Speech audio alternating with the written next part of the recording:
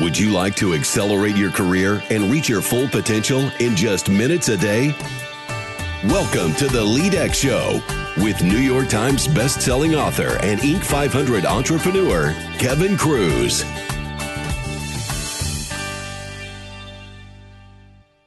Can caring be a competitive advantage? Hello, everyone. Kevin Kruse here. And in just a minute, we're going to talk about the quiet power that elevates people and organizations.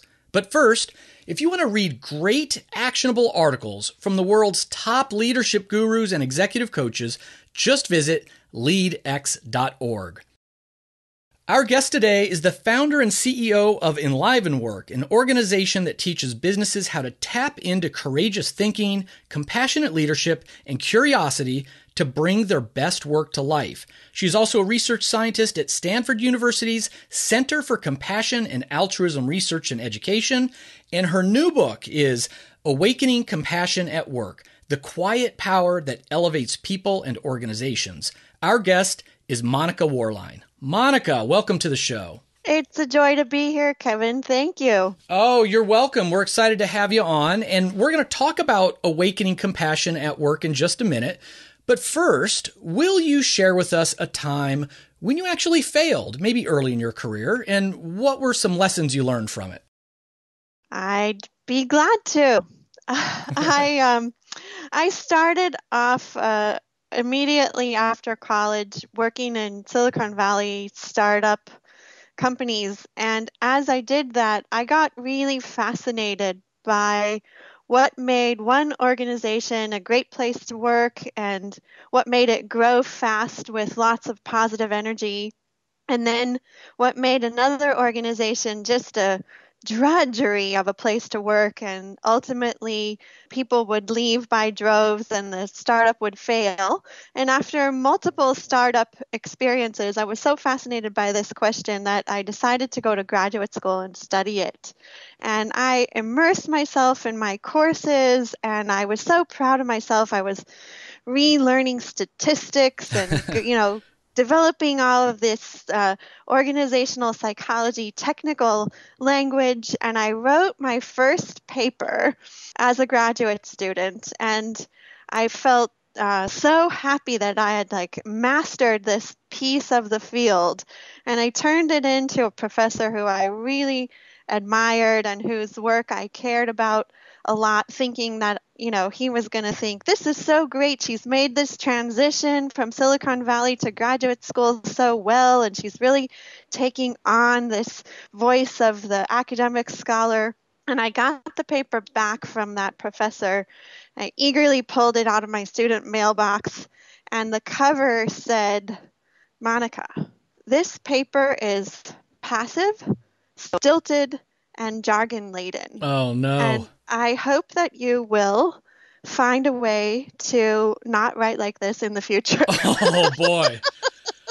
well, talk about some tough feedback. Yeah. So I spent uh, some time feeling really upset about that feedback and um, sitting with it. And then I scheduled an appointment and I went to this professor's office and I sat down and I said, I value your work and I value your feedback, and I'd really like you to tell me more about what you mean by this so that I can get better because I thought I was doing what I was supposed to do. I thought I was writing the way academics write.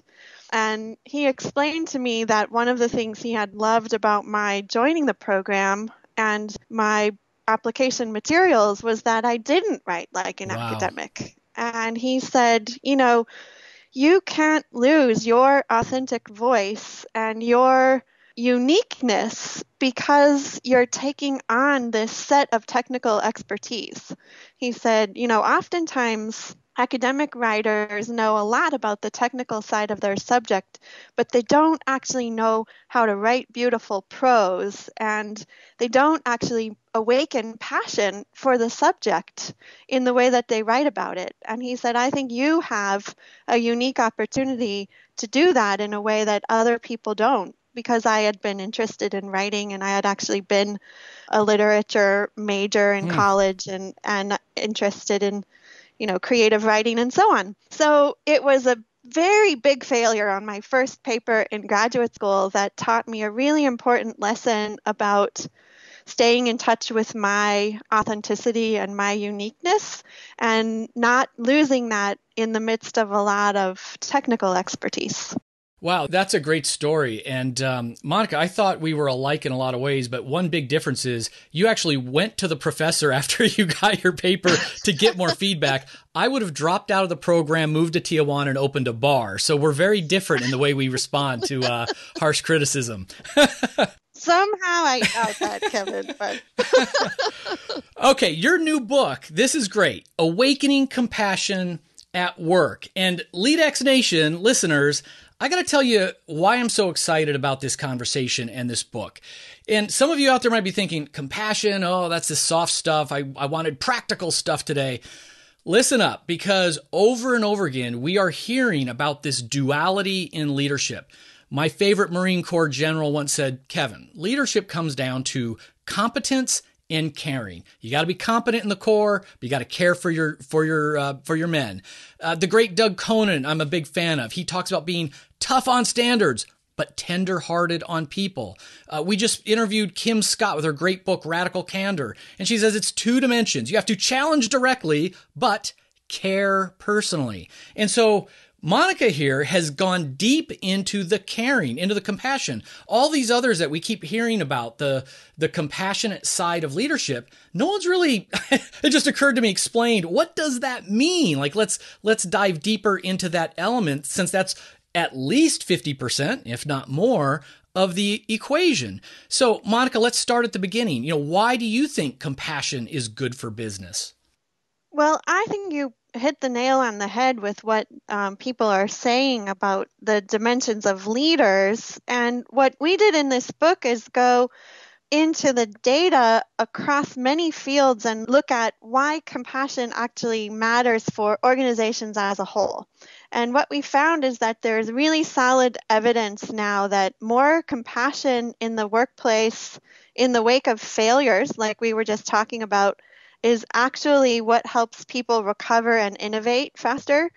There's solid evidence that supports the link between more compassion at work and the ability to give higher level service quality across a number of industries. There's very good evidence that when people feel more compassion from their colleagues and their managers in the workplace, they're willing to collaborate better and their collaborations are more successful for their customers. And there's really solid evidence that people are more willing to be adaptable to change when they feel like they have more compassion in their work environment. Wow, those are great benefits, great drivers, you know, compassion driving these these elements that of course are part of the chain that leads to, you know, productivity and, and service and higher sales and profits eventually. So I, as I often say, it's the soft stuff that does lead to hard results. And so you say there are four parts of compassion. What are they? Yeah, so compassion is often misunderstood as some sort of soft, fuzzy feeling. But in fact, it's a pretty complex human experience. The first part is to pay attention and notice when other people are in distress or suffering. And that link to suffering is actually what sets compassion apart from other positive experiences like gratitude or happiness. The second part is that when you notice someone is in distress, you have to interpret that as relevant to your life at work and worthy of your action.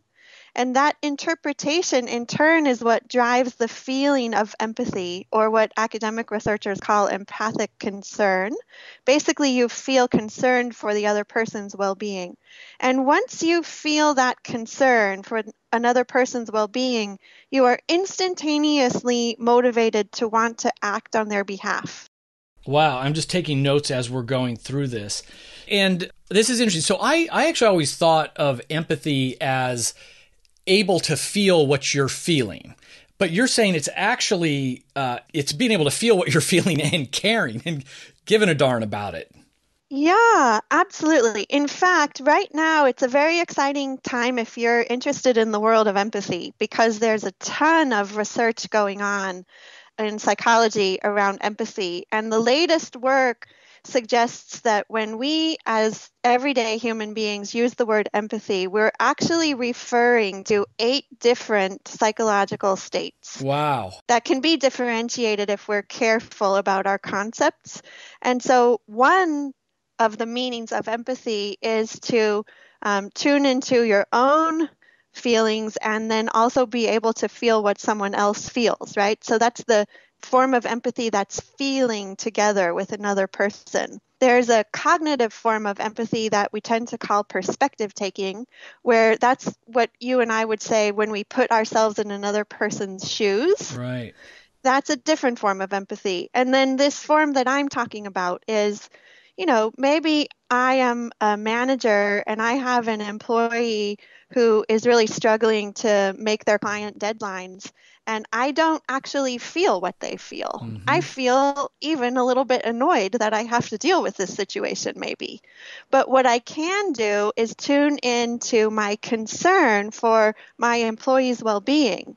And I can ask some questions and understand, like, what's driving this inability to meet these deadlines? Is there something going on in your life or in the workplace that needs attention so that we can fix that? And out of my concern for your well being, can I help alleviate con- that concern so that you can perform in a different way on the job? That makes sense.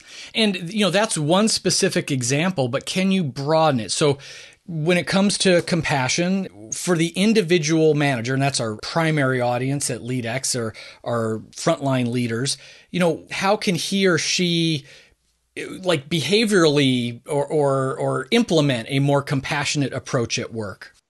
Yeah, absolutely. So the number one thing in our research that people ask for and wish they had more of when they talk about compassion at work is flexibility.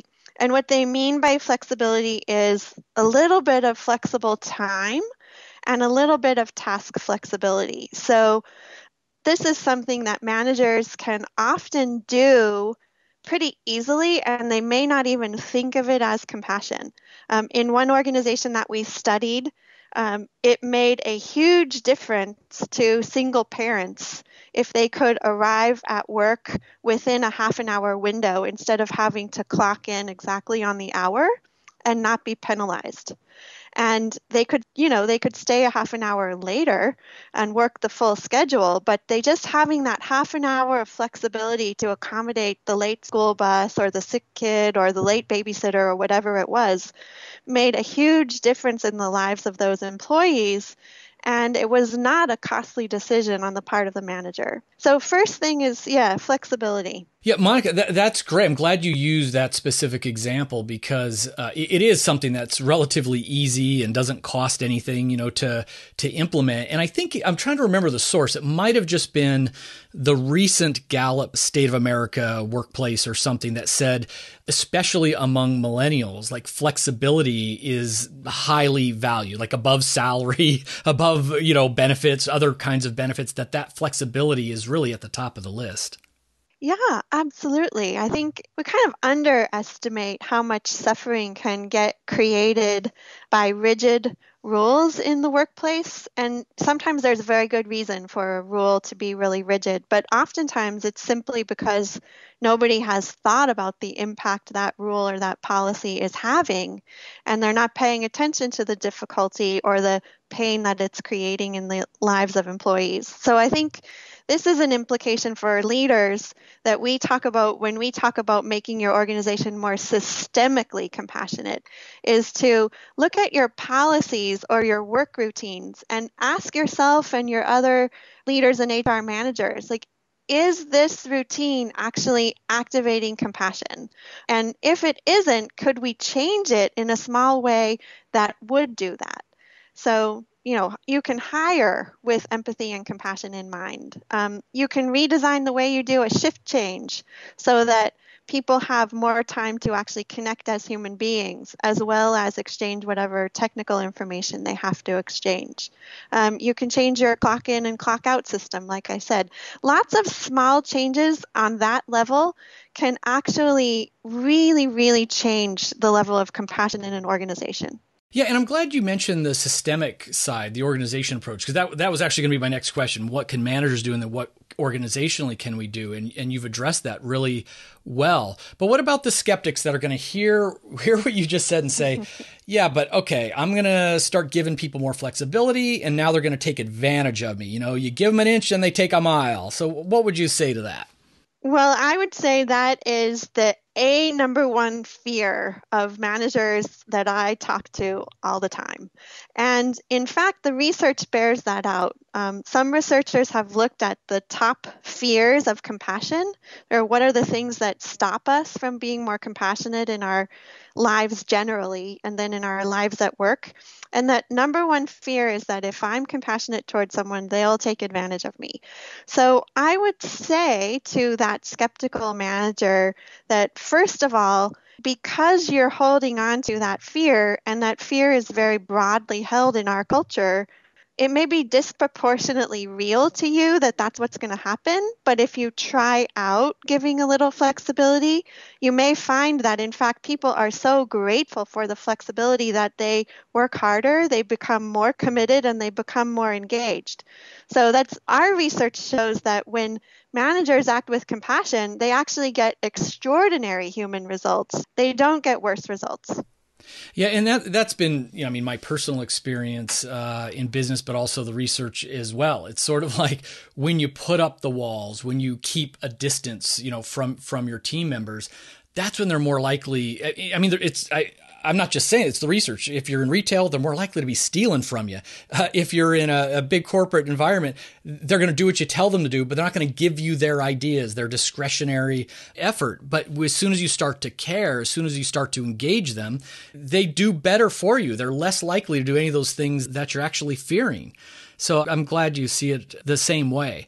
And this is getting a little bit organizational development geeky on you, Monica, but do you have instruments like survey instruments to measure compassion at work? Like, how would you actually measure whether Kevin is being compassionate or whether Kevin's company has a high compassion quotient or something like that? Well, I love to go to the OD geeky space with you, Kevin. there are several self report scales of compassion at the individual level that you can use if you run like an employee survey and you want to include an empathy or a compassion measure. There are several validated measures out there that would tell you about a baseline of how compassionate your employees feel that they are.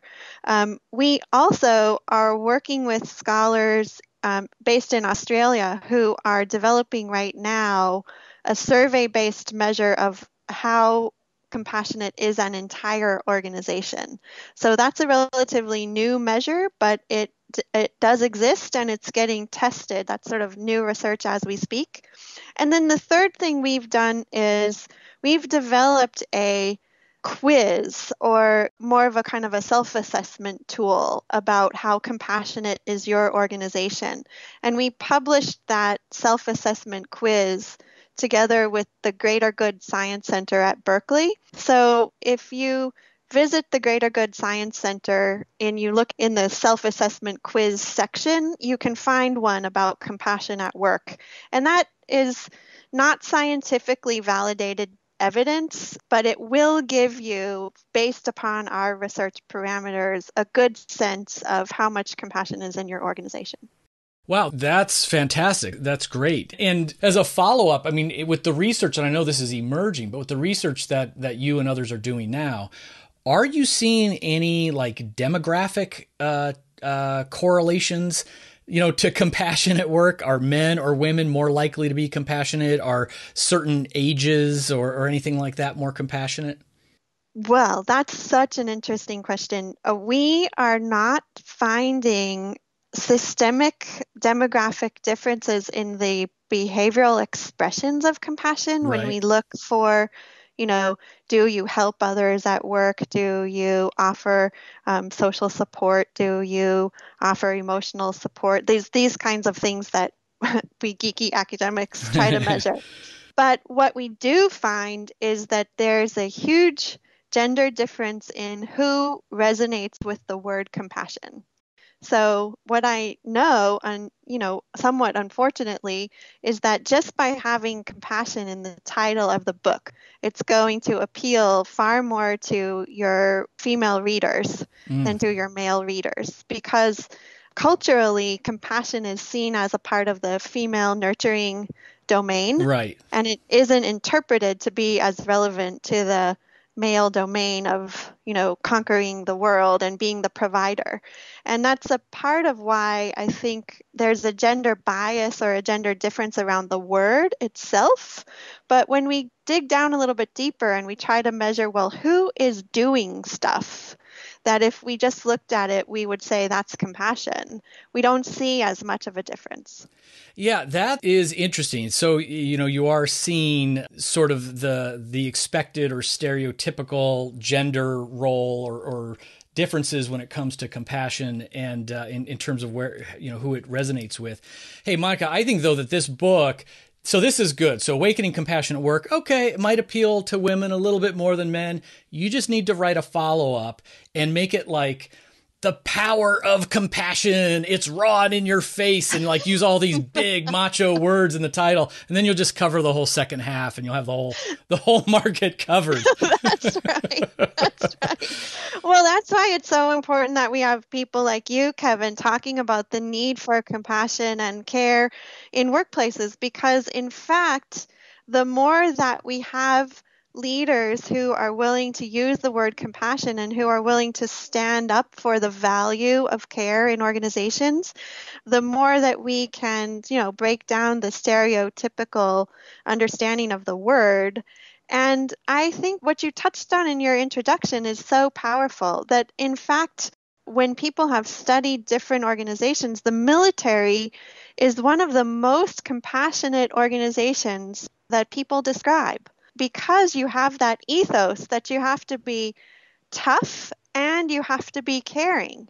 And those bonds that people build with others in the military when they know that they're under fire and they have to perform and they have to take care of each other in order to do that. I mean, that's the kind of message that we're talking about when we talk about compassion. So if we have to find a whole bunch of different words to describe it in ways that people will recognize, um, that's the mission that we're on to do that. Yeah, I and we didn't plan to to go uh, down this rabbit hole, but you know, I often will close my my public talks with stories about my interactions with the United States Marine Corps and not to tell the whole story, but you know, when I went and spent a, a day with General Bailey and some of his officers, uh, and I was going to give a speech about engagement. I was terrified because I've never served in the military. I, my father was a Marine. His stories to me when I was a little kid scared the heck out of me. So I, I never enlisted. And, but, and I'm in awe of them. And what am I going to teach these guys about leadership? It was an amazing experience. And everywhere I looked,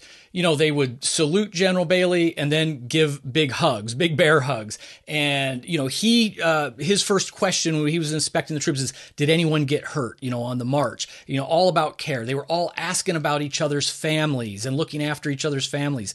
And I had the um, very unique privilege of going down to the Pentagon when uh, General Bailey got his third star promotion ceremony. And it's every bit the U.S. Marine Corps ceremony you would expect. And at the very end, the commandant asked General Bailey, said, um, "Who do you want to pin on your your new star?" and he points to the front row and he says, I want my brothers and my mama to do it. And there was Mama Bailey in the front row and his brothers who stood up and then you couldn't even see General Bailey because they're surrounding him, you know, putting, putting the stars on his shoulders. And the way the Corps integrates the family and it, like it isn't even a, uh, I don't know what they call it, like if they call it compassion, but it just is who they are. It is like family. It really shows to me, I think like, it isn't all about just being soft or nice that you're going to get rolled over. Nobody would accuse officers in the Marine Corps of being soft, and yet there's that compassion side. So I think that's awesome. Yeah, absolutely right. I mean, that's such a great example. When people in business are afraid of compassion because they're afraid it's going to make them look soft or look weak, I do think we can point to leaders and examples like that and say, you know, you can't accuse those people of being weak. Look at what they do right. every day. Look at the results that they get in their organization. Yeah. Now, Monica, you know I like to challenge our listeners to get a little bit better every single day. So, what can you challenge us with to actually try out today? I want to challenge the LeadX listeners today to try out this saying that I remind myself of and that I was reminded of by one of the most compassionate leaders I know, which is that whenever human beings are gathered together, there's always pain in the room.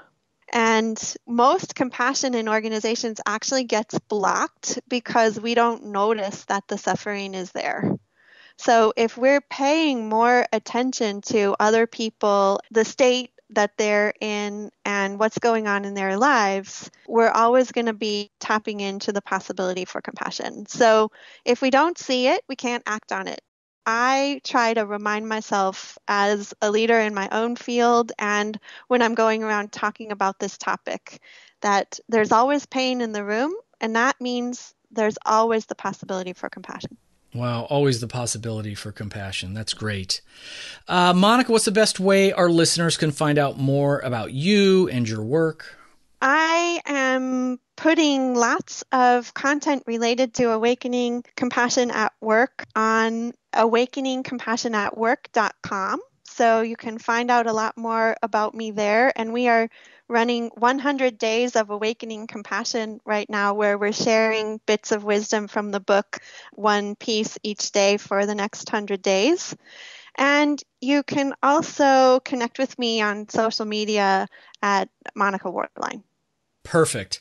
Friends, you've just been mentored by Monica Worline. Don't forget you can get all the links she just mentioned and the notes from this interview over at leadx.org. And of course, get Monica's new book, Awakening Compassion at Work, at amazon.com or your favorite bookstore. And listeners, one more thing. If you got even one new idea from the LeadX show, I hope you'll hop on over to iTunes, click subscribe, leave a short, honest review. That would mean the world to me. Until next time, remember, of course, leadership isn't about a title or power or authority. It's all about influence. We are all leaders. The question is, who are you going to lead today?